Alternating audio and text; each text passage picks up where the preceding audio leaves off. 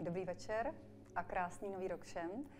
Eh, dnešní rozhovory o tanci jsou již pátými v pořadí a budou mít poměrně široký záběr. Budeme se povídat o tanci napříč žánry, kulturami a i napříč dobou. Krásný večer i ode mne. Je nám opravdu velkou ctí přivítat zde naší přední divadelní a taneční publicistku, režisérku, choreografku, ale také tanečnici, paní Ninu Vangeli. Dobrý, Dobrý večer. večer. Tak eh, možná začnu já. Eh, když už se bavíme o tanci, tak možná samotné vymezení tance bude s vámi docela zajímavá jako otázka. Eh, jak tanec vůbec uchopit? Jestli se to dá nějak jako definovat. kdy to tanec je, kdy už není, protože na jednu stranu se říká, že tanec je jenom jeden, na druhou stranu záleží asi z jakého úhlu pohledu se na to díváme, jestli je to umění, jestli je to zábava, terapie, jak byste to uchopila vy? Já hluboce vnímám eh, rituální kořeny tance, protože eh, za celou dobu, co se tanec tancuje, ta doba rituální byla asi zatím nejdelší. To znamená, že tanec je propojen s naším vědomím oblasti posvátného a to stále platí, byť ty tance dnes mohou být i velmi rozpustilé, ale vždy se ten tanec vztahoval k posvátnu a v tom světě předprudérním před náma to posvátno samozřejmě zahrnovalo také oblast sexu, protože to byla oblast hlubokých tajemství pro člověka a zároveň to bylo jakési zjevené tajemství, protože dítě se rodí nějakým zázrakem, zjevuje se tajemství v těle. No, ta těla potom tančí a je to vlastně to první, co těla dělají, když nepracují, když nedělají praktickou věc pro svoji obživu. Čili tanec je nějaký nadstandard nad nezbytnými potřebami přežití a teprve vlastně v této sféře tohoto duševního a tělesného nadstandardu začíná lidská historie, ta pravá lidská historie. Mm-hmm. To je krásné. Když se řekne česká taneční scéna, tak pro tu srozumitelnost eh, toho dnešního tance, kdo to vlastně a kdo tam vlastně patří nebo nepatří? No, tam patří každý, kdo tam patřit chce a ostatní ho uznají. V umění, na rozdíl od sportu, není žádných přesných měřítek, protože eh, tanec je předvedení určité výkonnosti, ale zároveň také je to především umění. A v umění je posuzování něčím nesnad eh, libovolným, ale přece jenom něčím velmi odstíněným a obtížným. Ne každý je toho schopen, nebo eh, ne každého uznáme eh, jako zahodna toho, aby vynášel nějaké autoritativní úsudky, ale samozřejmě každý a nikdo z nás si neodpustí vynášet ustaviční úsudky, to je lidský život, ustavičně posuzovat všechno. A e,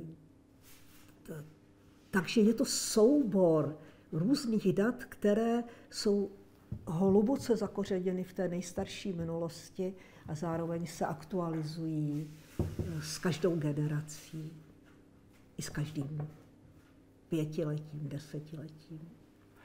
A když to ještě zužím eh, na to umění, umění může být tedy cokoliv? A nebo se dá říci, že tohle je umění, ale tohle už ne? A teď myslíš v oblasti tance nebo obecně? Například, dejme tomu, teď mě napadá sportovní tanec. Je to soutěžní forma, je to umění, dá se to? Mm, tak můj subjektivní první dojem je, že to není umění. Aha. Že to není umění tím cílem.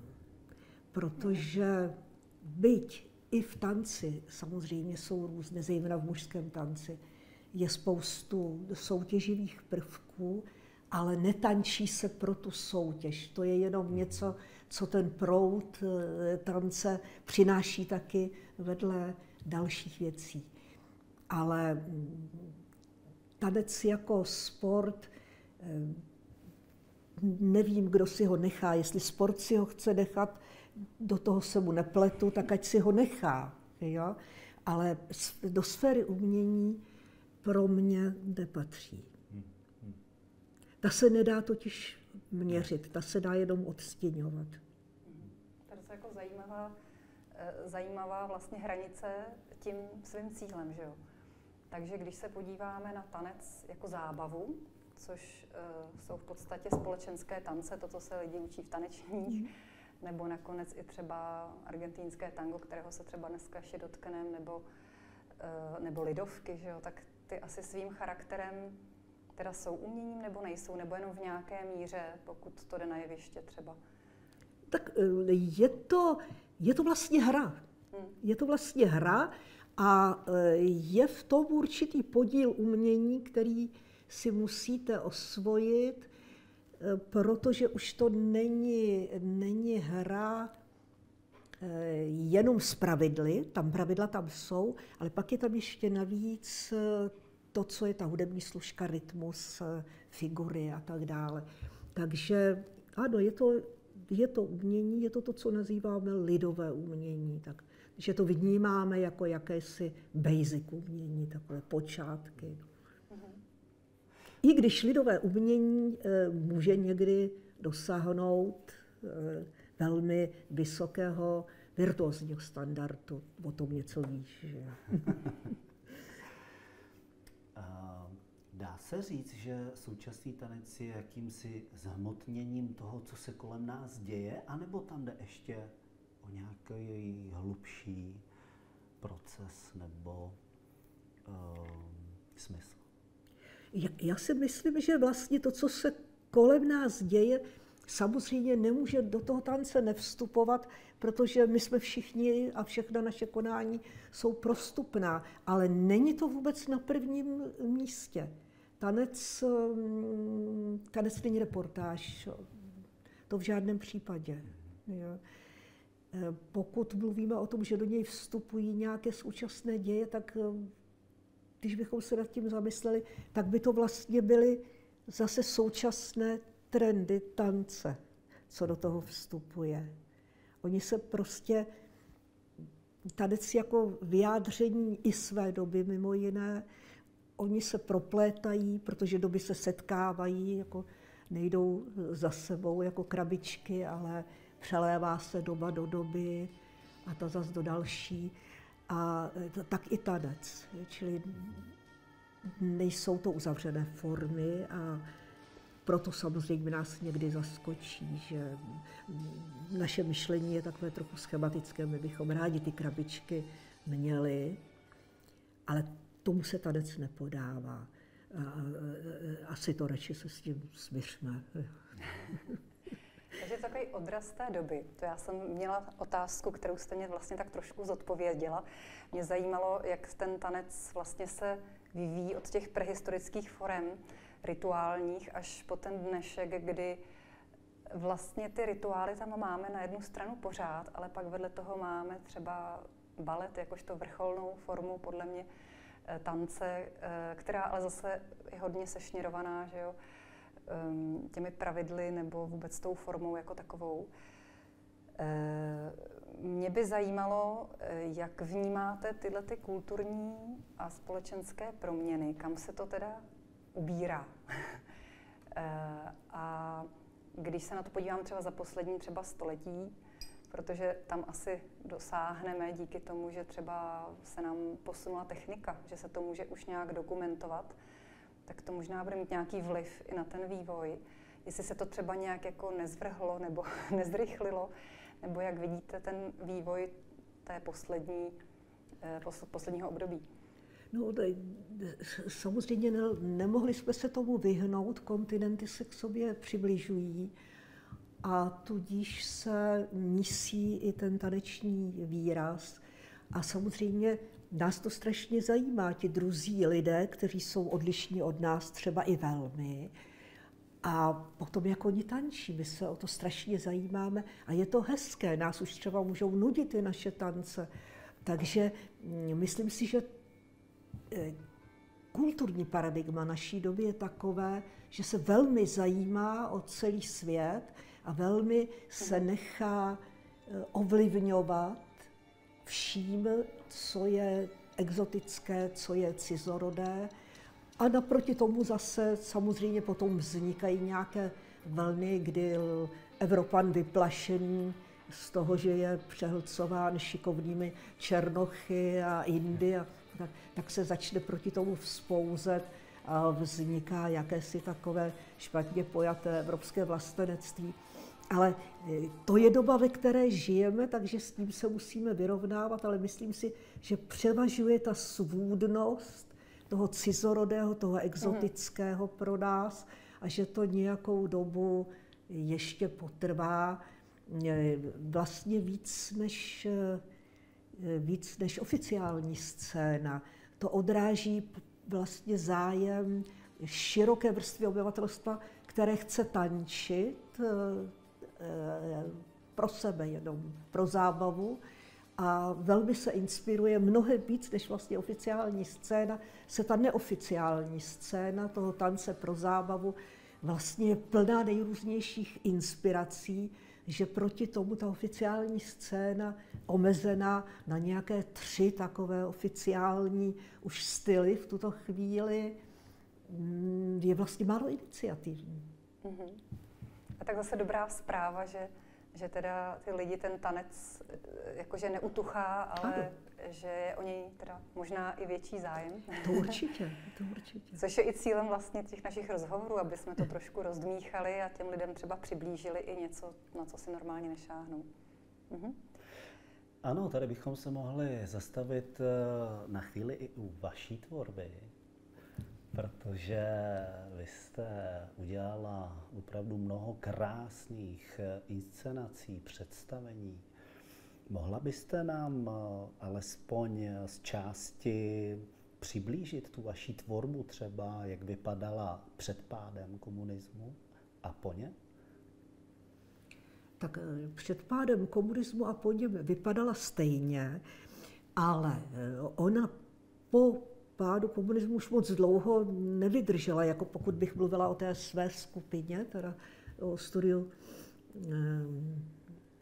o studiu to, pohybového divadla. Ale eh, nebylo to nic výjimečného eh, v té době, když bych vzala jakoby širokou euroamerickou kulturu divadelní.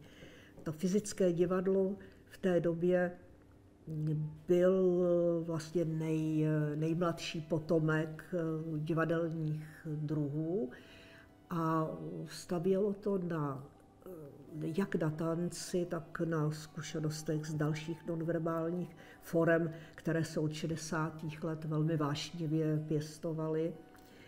A e, zároveň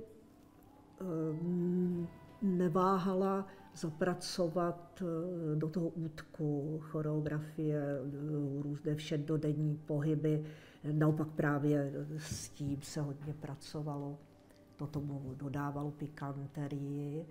Eh, nedá se říct, že by tam byl nějaký jakoby nacvičený taneček jako v rámci toho. Samozřejmě naskoušené to bylo, ale ne v těch pravidelných ne, ne, nebyla ta sestava pravidelných forem eh, známého nebo známých tanečních e, stylů. A co bylo také důležité a možná úplně prvotní, prvotní zdroj inspirační, byl rituál. Protože ta doba nazrála pro zájem o rituál, bylo to také jakési navracení vůbec ke zdrojům společnosti a zdrojům tedy i tanečního umění, které, jak já ráda vždy hlasitě říkám, je to první a poslední umění lidstva. A e, ten pohyb se nám tehdy jevil v té přemíře falše slov, se nám jevil jako něco, čím lze promlouvat pravdivě, respektive, čím určitě nelze lhát. To prostě nelze. Tak tím bychom měli zajištěnou určitou autenticitu. Potom hledat v pohybu fráze, nová slova, hledat cestu, jak tanec mluví, tak eh, to je eh, velmi vzrušující. A když mluvím tanec, samozřejmě tenkrát byla doba, v tom mém mládí, doba rozbíjení nejrůznějších hranic mezi, mezi žánry. Bylo to kulturní paradigma, které vlastně podporovalo všechny možné přesahy, umění, stylů, žánrů, forem, aniž se, musím říct, ztratila jejich identita. Vždycky jsme věděli, kde jsme a co se kříží s čím. A to byla veliká hra. To bylo úžasné období, do kterého eh, my jsme jako mladí vpadli, eh, bohužel ještě jako sevřeni tím režimem, ale už jsme se odvážili mluvit po svém. Ne vždycky to bylo snadné, občas přišel nějaký zákaz, ale přece jenom už to šlo soustavně mluvit svým jazykem. A e, stále s tím zřením k tomu, že divadlo je rituál. Tak hmm. jestli je to vysvětlení krásně vysvětlené. Já bych se ještě zastavil. Na konci 80. let jste vytvořila krásné představení Requiem. A zaprvé by mě tedy zajímalo, eh, jak jste na to přišla, co vás k tomu vedlo vytvořit toto představení a potom třeba v krátkosti, jak to probíhalo. Mm-hmm ty vaše pocity, dojmy z toho. Yes. Ano. Jestli, jestli to ještě se Jestli... člověk pamatuje. No, já, jo, to, to, to, já si to pamatuju velmi dobře. Já jsem tenkrát eh, ke konci bolševika eh, jsem poprvé byla v západní cizině ve Švýcarsku a když jsem se vracela, tam v tom Švýcarsku ještě musím říct, Eh, co na mě jakoby zapůsobilo až skoro, až k bolesti, bylo, že kolem mě byl strašně barevný svět. To mhm. Švýcarsko bylo prostě tak barevné, že někdy už jsem, už skoro se mě z toho jakoby točila hlava, už jsem nemohla těch barev tolik, už, už toho bylo moc. Pak jsem přijela domů po těch asi třech nedělích, kdy jsem tam byla Vystoupila jsem na hlavním nádraží a šla jsem směrem na Václavák a já to takhle koukám a říkám si, jako, jako kdo to umřel, oni jdou všichni na pohřeb. Takhle na mě působilo obyvatelstvo Československa. Hmm. A já jsem pochopila, ano, že to je prostě téma. To je téma, že my skutečně žijeme tam v tom Československu jakousi smrt, jo, a bylo to jasné, že jo, takže prostě mhm. byl to vlastně soubor obrazů ze soukromého a veřejného života člověka u nás. Jasně, že člověk vystoupí eh, ano. z té hmm. ulity, tak najednou to ano. vidí jo. jinak, že jo. A bylo to prostě černé od, eh, od velmi, jako bych řekla, krajních věcí, jako třeba byla poprava, že jo, politická, až po, až po obyčejný život, kde smutné ženy stály nad kuchyňským stolem a v takovém lirickém eh, pohybu si prohlíželi svoje punčochy, ty jako jediné, které měli a hledali na nich ty oka, aby je zažili. tak. Čili byl to po, pohled na společnost hmm. u nás jako na pohřeb. Tak to je zajímavé teda. No, tak je to zase odraz té doby, no, jak jste hmm. říkala, že, že hmm. vždycky ten, ten tanec nějak odráží uh, tu dobu. Nicméně po revoluci jste se začala věnovat divadelní publicistice a kritice, uh, za což jste dneska možná, bych řekla, z, možná i známější, Eh, alespoň ne v těch úplně mhm. jako super odborných kruzích, tak eh, lidi, co jsou trošku vně, tak vás znají zejména jako kritičku, publicistku. Eh, jak jste se našla v této oblasti? Když člověk tančí, tak, že, že se vrhne i teda touto mhm. cestou, protože ne každý touto cestou se vydá. Já jsem, já jsem studovala divadelní vědu a to je celkem časté vyústění, tedy studentů divadelní vědy, že publikují, píší recenze a tak. Nebyla to moje jakoby první volba, spíš to byla taková znouzectnost. A také to trochu souviselo s tím, že všechno tak podražilo, že tak a já jsem potřebovala se dostat na ta představení zadarmo. tak jedno z druhým mělo to Eh, to neznamená, že bych k tomu přistupovala nějak cynicky, nebo že bych v tom se také nenašla trochu, ale mm, ty důvody jsou vždycky komplikovanější, jsou někdy vznešené, ale zároveň jsou někdy i velmi všednodenní. No nicméně eh, mě na vás fascinuje, jaký máte záběr že a jste hlavně otevřená všem možným uh, tanečním žánrům, proto taky jsem to dneska uvedla, že půjdeme napříč těmi žánry. A za to teda vám moc děkuji, asi za všechny tanečníky této republiky. To vám děkuji. Protože opravdu dokážete, eh, docela bych řekla, jako s noblesou a poměrně trefně se vyjádřit o všech těch stylech všemožných. Takže Určitě se na to dneska vrhneme. no já to hned potvrdím další otázkou, protože vy jste se dostala také k opernímu divadlu. Eh, jak eh, probíhá taková spolupráce s operními zpěváky? Je to těžké. Je to těžké, protože já jsem chtěla, aby, aby do té inscenace operní tím spíš, že je to žánr hudební, eh, aby se dostalo něco, něco z té kultivovanosti tance v tom pohybu.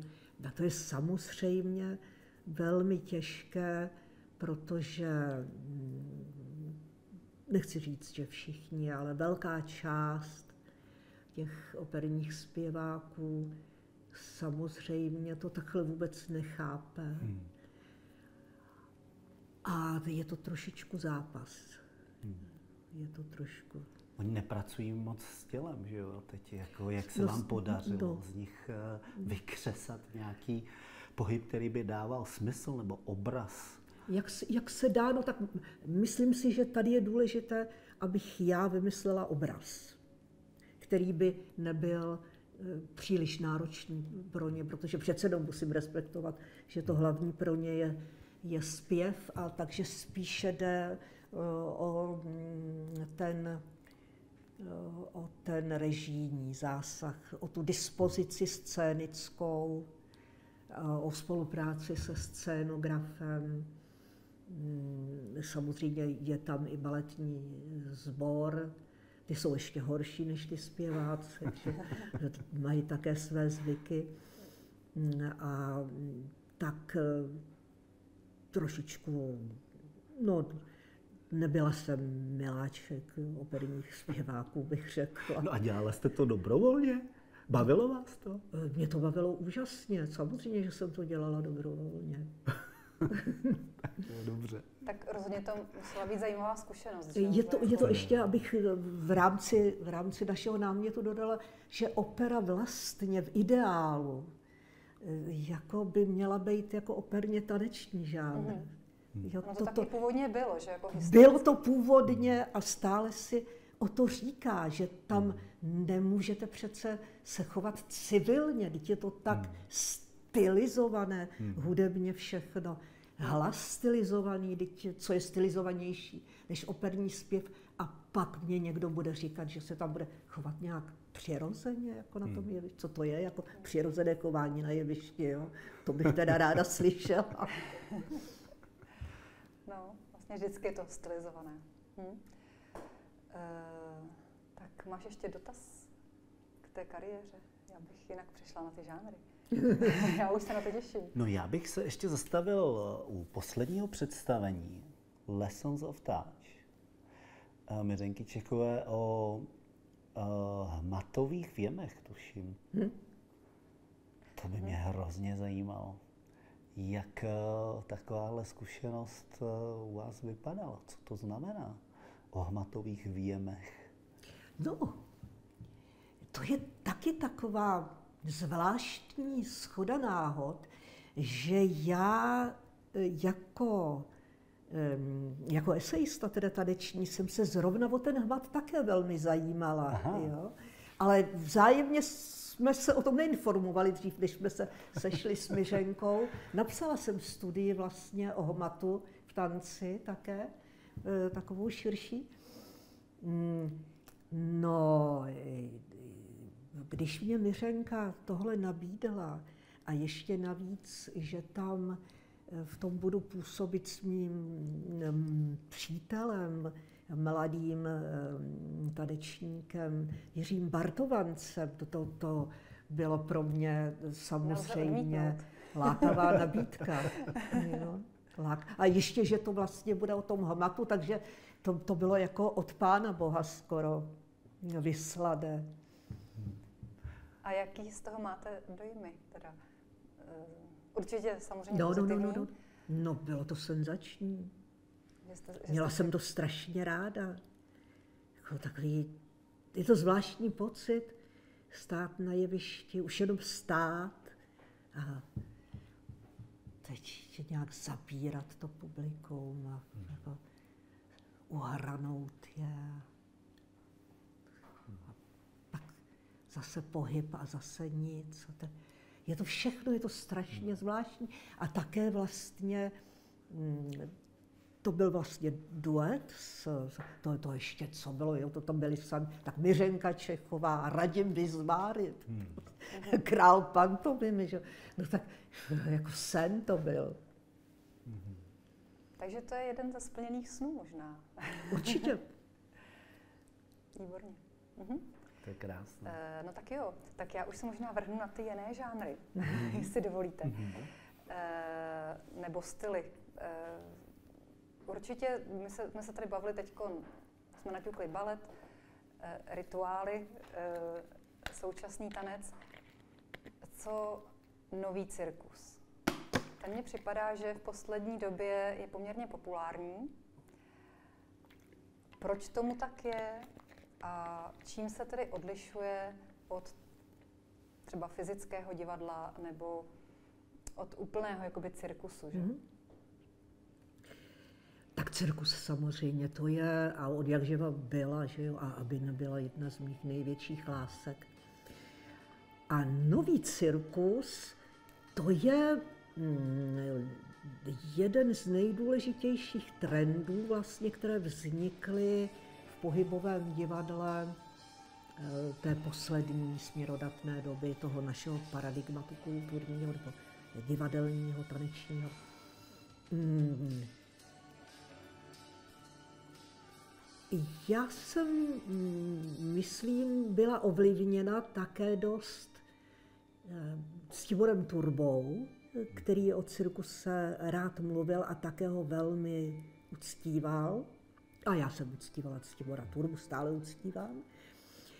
E, takže e, vlastně se stačilo rozhlédnout po oboru a člověku bylo jasné, že teď, co je to, to, co je, co je na vzestupu a čemu je potřeba věnovat pozornost, je nový cirkus. A co má nový cirkus navíc proti tanečnímu umění?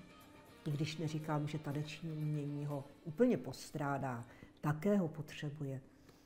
Ale je to, a co nás nejvíc udivuje na cirkuse, kromě té nezměrné obratnosti, která je teda samozřejmě neuvěřitelná, tak je to ta odvaha, ta mm-hmm. neuvěřitelná odvaha. Hm? A já jsem strašný babělec, já se bojím, i když stojím na židli, takže pro mě tím spíš je, je to něco naprosto neuvěřitelného. Dělat něco krásného a ještě za nebezpečných okolností. To je přece úžasné. A navíc ještě, co se stalo vlastně eh, a co patří také jako velmi mm, výrazná, výrazný znak eh, našeho kulturního paradigmatu je vlastně, že ten nový cirkus natolik se projevil a natolik eh, ukázal věci, že se stál vůbec předvojem celé té divadelní sféry, bych řekla. No, nebo celé té sféry toho, čemu říkáme spektákulum. Mm-hmm. Takže to jako zpětně teda ovlivňuje tu ostatní tvorbu. Může a nemusí, to je, stačí už, že je, jo, ale určitě ovlivňuje, ano, určitě samozřejmě musí vybudit eh, tanečnících a jiných pohybových umělcích žárlivost nějakou, eh, na kterou eh, oni reagují. Já učím eh, na konzervatoři Duncan Center a tam prostě některé absolventky se tak uchvátily hmm. pro nový cirkus, že už, že už v něm jedou. Tak. Výborné slovo odvaha. Já osobně bych k tomu ještě dodala, že to je že to je vlastně takový druh umění nebo tance nebo akrobacie, která je lidem jako hodně srozumitelná. A jestli hmm. tohle to není jedna z věcí, co, co ty lidi přitahuje, že možná někomu to, eh, ten současný tanec připadá někdy až moc abstraktní, že to nedokážou uchopit. Ano. A ten no. nový cirkus je pro ně vlastně takové jakoby vysvobození a takový pozitivní No to je pravda, proto Posun. mají cirkus rádi děti. Hmm. A je, je, je, je to tak, ta odvaha je nezměrná a ten fortel je taky nezměrný a každý to vidí. Kdežto na tanec, ať už na klasický balet nebo na současné formy, přece jenom musíte být trochu fajnšmekr. Hmm. Když tam přijdete z ulice, tak to fakt neoceníte. Hmm. Ostatně z ulice neoceníte ani balet a tak. Ale to taneční formy jsou takové. Oni jsou křehké. Křehké, je to taková, eh, takové ženské umění. Ale ten cirkus je možná umění mužné. Já nevím, jestli se to tak má rozdělovat. Mm-hmm. Určitě ta síla je tam daleko víc potřeba. No odvaha a síla, že jo? To je mm-hmm. především, jakoby, to jsou především mužské znaky. Tak to je zrovna to, co dneska všichni potřebujeme. Odvahu a sílu. Hmm. Takže do cirkusu všichni do cirkusu. A učit se, učit se, učit se. Možná bychom tomu všichni rozuměli víc. no ale máme tady také další fenomen 20. století, nebo konce 20. století, kterým je flamenko. Eh, mě eh, trošičku udivilo, ale myslím si, že mi hodně věcí i ušlo, tak bych rád eh, věděl od vás, jak to tedy opravdu je. Protože jsem zjistil, že ve flamenku se, nebo flamenko je prošpikované, aspoň z mého pohledu, současným tancem. Že je to propojené to ten, jak vy říkáte, crossover. Mm-hmm.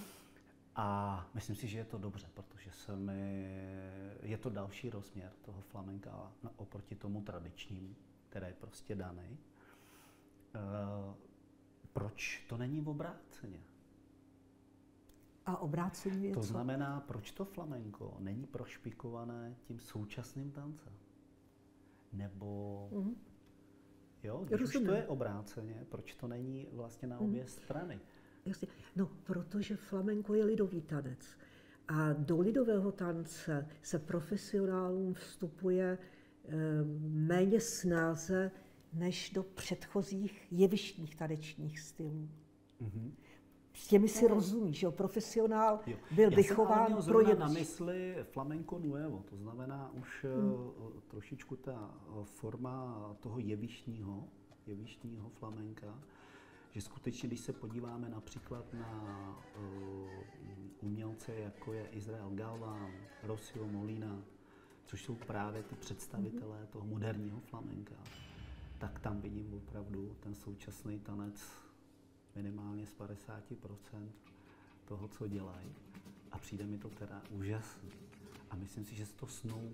Ale vlastně já jsem ještě nikdy neviděl, kromě možná jednoho, ale to, byl, to bylo vlastně, to bylo vlastně flamenkové představení. Ale kdy, když jsem, neznám jedinou, jediné představení, kde by se to flamenko projevilo. A tak mě zajímá, protože flamenko dělám. Proč tomu, to, proč tomu tak je, že ten současný tanec nevyužívá té rozměrnosti a té bezedné inspirace uh, toho flamenka vlastně? No, moderního. Rozumím. No je to tak, že ať už je flamenko moderní nebo tradiční, eh, nezapře svoje kořeny. To nezapře, na nich taky stojí, že? s tím jako na tom půvabu eh, té, té cizorodosti to flamenko stojí. Jo? A myslím si, že samu flamenko se brání, že to není jako, že by do něho nechtěli třeba lidé vstoupit. Nevím, možná nechtějí, ale myslím si, že samo flamenko je strašně silné, že cokoliv se do něj přidá, tak to flamenko to zaintegruje, přizpůsobí si to a prostě to skapitalizuje pro sebe. Flamenko je silné, jako jsou silní cikáni, že? který patří k jeho zakladatelům zásadní. Mhm. Tou sílou. No, zajímavé. No. A možná, že je to tak dobře.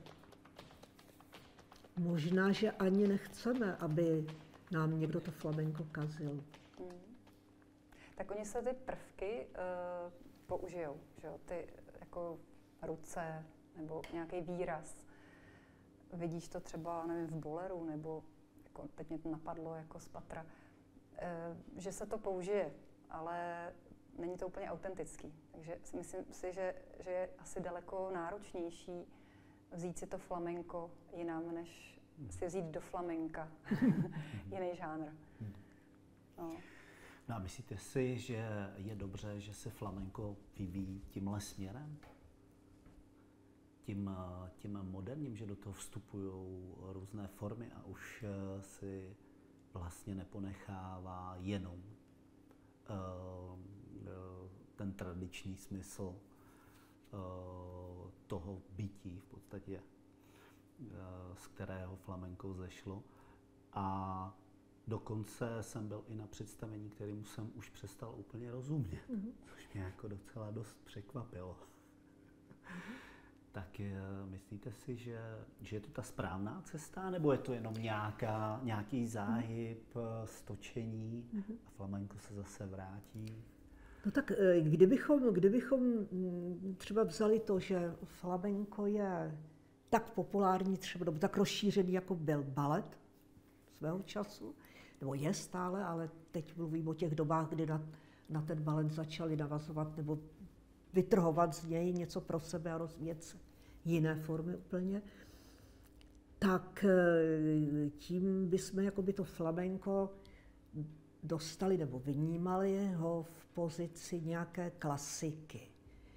Já si myslím, že flamenko ale nechce být v pozici žádné klasiky, ale zároveň si chce uchovat čistotu forem. Jo? Ale nechce být, jako bych řekla, zgramatikalizováno. Jo?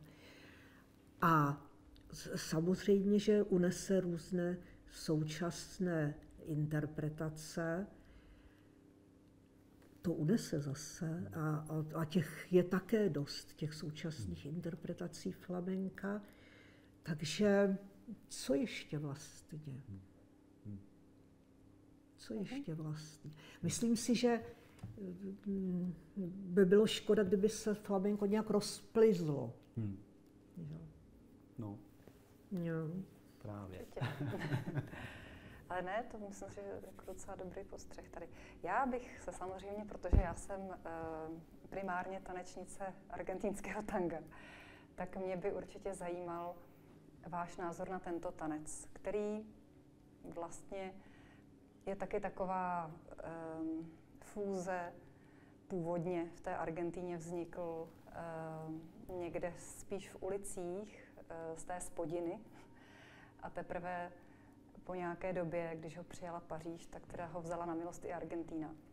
Takže je to zase vlastně forma lidového tance. Ale ne až tak jako úplně, nemyslím tím takový ty e, horalové, co tam taky samozřejmě tančí zase něco jiného. Je to městský tanec. Městský folklor. Městský vlastně druh folkloru, párový tanec. Tak e, co si myslíte o tady tom fenoménu, který vlastně je celosvětový? Tančí se to napříč světem, kulturami. To, eh, ano. to, mě, eh, to mě přivádí, eh, přivádí k jednomu aspektu všech těchto tanců, které se staly populárními, jako je flamenco, jako je argentinské tango, že to jsou vlastně věci, které nepřišly z hora, není to nějaká dvorská kultura, přišly ze spoda. Přišly ze spoda a ještě speciálně u, u toho tanga úplně vlastně skoro z prostředí polokriminálních často, nebo taky velmi jako neslušných různých. A ty ale mají zdravý kořínek hrozně. Jo? Prostě je ten zdravý kořínek těch tanců, které prostě se museli, museli vydržet a formovat se na ulicích a, a v bordelech s prominutím. Jo? A e, ty mají velikou životní sílu. Jo?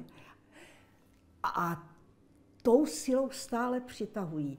Je to samozřejmě také jakási Eh, je to sexepíl, jako když mluvím o síle. Jo? Sexepíl je také určitá síla. A oni mají veliký sexepíl, tyhle ty tance. Jak flamenco, tak tango argentino, ale přitom to samozřejmě jsou naopak tance jakoby velmi strohé v, jako v tom, jak jsou rozdány role mm, mezi dámou a pánem, to je jako no nonsense, jako, že, mhm. jo? to nejsou žádné chlípné tanečky. Naopak, jo. Ale zatím vším, zatím vším, eh, za tou skázněností toho tance je ohromně eh, je erotický náboj. To vidíme prostě. To, to, to bije do očí. No ono je tam kromě toho ještě velmi často, když se to tančí, že i v tom tangu že je jevištní forma ta lidová, když se jde někam do tančírny, a ta lidová forma je hlavně o improvizaci. A to si myslím, že tomu určitě dodává ten náboj no, též. A to by mě vůbec zajímalo téma jako improvizace. My jsme se tady na to už ptali našich předchozích hostů, protože uh, u baletu tam v podstatě jediné, čím se dalo trošku nějak vyjádřit, byl výraz. Uh, tak některé tance jsou na tom i založené. Že? Jak to flamenko, když je nějaké tablao nebo, nebo to tango. E, co si vůbec myslíte o improvizaci v tanci? Jak to vlastně napomáhá nebo ubírá? Čemu to pomáhá, čemu to ubírá? Ehm, to je těžká otázka, čemu to pomáhá, čemu ubírá. Já to trošku zatím obejdu, třeba mě to mezi tím dojde. Eh, ta improvizace vlastně stála na počátku všeho, co já jsem poznala. Vlastně jsem se nějak šťastně narodila do první výrazné improvizační, do, ne druhé vlastně, po 60. letech, tak 80. léta eh, byla, bylo velké období improvizovaného divadla a eh, tam eh, jsem začala odlišovat a vnímat, pozorovat, učit se rychle rychle pochopit, co je originální na té improvizaci a co je jenom zase zopakované po někom jiném. Čili ta improvizace strašně probudila nejenom samozřejmě pozorovací schopnosti, ale především probudila ty, řekla bych, krajiny těla, které třeba nebyly zahrnuty Eh, do toho jasného farplánu eh, těch scénických tanců s eh, celou jejich encyklopedií. A ano, improvizace, to, tím bych, to, tím bych mohla pojmenovat vůbec první období jaksi mé, mé činnosti, kdy jsem se připojila k nějaké skupině Eh, která se zabývala tím, čemu dnes říkáme fyzický tanec. Tak. Hmm. Improvizace je zásadní. A dokázala byste třeba i eh, poradit, jak se k takové improvizaci dostat? Jak se ji naučit? Jak se ji naučit? Dá se naučit improvizace, anebo přichází přirozeně s tou zkušeností a s tím, jak se tomu ten tanečník věnuje? Je na to nějaká metoda? No vlastně ne, metoda Není. přirozeně nemůže existovat k nepolapitelné improvizaci metoda, která je sítí, že jo, do které lapáme poznatky o, o nějakém umění. Není to metoda, ale už opakování improvizace je metoda. Já jsem teda byla v souboru, který založil eh, Vašek Martinec a eh, tam eh, ten základ vlastně práce právě improvizace byla. My jsme improvizovali nahoru dolů. Tak se člověk učí tomu chování, poznává, jaké mohou nastat příležitosti, jaká mohou nastat rizika tou činností. Jiná hmm. metoda tam vlastně hmm. není. Je to jenom stále, stále zkoušení, co se stane. A vždycky hmm. se něco stane. Hmm. Protože mě docela udivilo, že například eh, studenti prvních ročníků tanečních konzervatoří mají kolikrát za úkol prostě uh, improvizovat. A mně přijde, že to prostě nemůžou. Já považuji uh, improvizaci za vrchol umění. A teď vlastně uh, student, který vlastně začíná teprve studovat a má už vlastně se pokoušet o nějakou improvizaci, myslíte, že to dobře, má to smysl, anebo, anebo to spíš jako nebo je to jedno? Já si myslím, že to je pro různé formy je to různé. Neumím si představit, eh, jaký smysl by to třeba mohlo mít v baletu, který je hmm. pro mě zásadně neimprovizační forma hmm. A v tom je jeho půvab. Hmm. I když pravda je, že když jsem chodila do baletu, tak jsme také měli něco, co se jmenovalo improvizace, ale k mému úžasu velkému zklamání to znamenalo, že ne, že improvizuju, ale že po svém nějak poskládám eh, ty kroky, které jsme se až do té doby naučili. tak. A, ale mm, samozřejmě také i improvizace, z improvizace scházejí potom ty základní, základní kroky, které si pak ta komunita uchová, protože se jí hodějí, ukázal, osvědčili se, tak ty, které se osvědčily, eh, tam zůstanou, ale vždycky se bude improvizovat, protože improvizace je na začátku, ale je na konci. Když už umíte formy, tak co chcete? Chcete si s nima hrát? Mm. Chcete s nima žonglovat? A to je také improvizace. Chcete vybočit vůbec z té formy a udělat nějakou etidu, mm. nějakou třeba mimickou i scénu a zase se vrátíte zpátky do toho. Vy musíte jenom udržet rytmus, že jo? Rytmus to je všechno. Mm, tak eh, ano, to je, já si myslím, že je správné. Já učím v Duncan Centru a to je určitě případ konzervatoře, ano. kde se improvizuje od počátku až do konce a myslím si, že to je v pořádku. A důkaz toho je, že opravdu mm, Duncan Center konzervatoř přinesla naší taneční scéně celou řadu mladých choreografů. Hmm. Mm-hmm. Protože už jim to prostě se stalo přirozené v průběhu studia. Výborně. Takže to spíše taková jakoby obohacení, posila. Ano. Mm-hmm. Tak to ráda slyším. Eh, no já možná se zeptám, eh, přece jenom už se povíme poměrně dlouho. Ano. Eh, jestli máte za tu svoji poměrně bohatou a opravdu košatou kariéru, tak jestli máte ještě nějaký sen, který byste si chtěla eh, splnit eh, nebo ošahat něco nového? No to mám, to mám. To mám, ano. No, člověk si nemůže zabránit, aby snil. To je těžký, že? A je to důležitý. A je to důležitý. Mít ty sny. A řeknete nám, jestli to není tajný sen? Já nevím, jestli vám to mám říct. No, jako když vám to řeknu, tak vám to bude připadat, že je to strašně obligátní. Ale to nevíte, jak bych to udělala já. ne, ne, já vám to neřeknu radši. Ale je to, je, je, je, je, je, je, je to, tolik vám prozradím, že je to nějaká nová variace na, na choreografii, kterou chce dělat kde kdo. Dobře, no tak jo. Takže ještě vás čeká nějaký tvůrčí počin? No to já nevím, že jo, to já jako nemám soubor.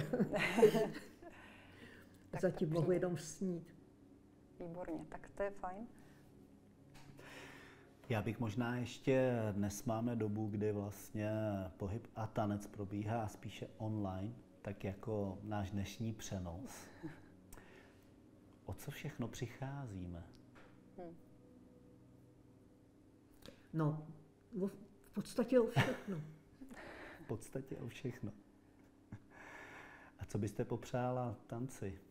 Aby to skončilo už, tahle doba. Aby byl zase živý, se živými tanečníky a živými diváky. A emocemi.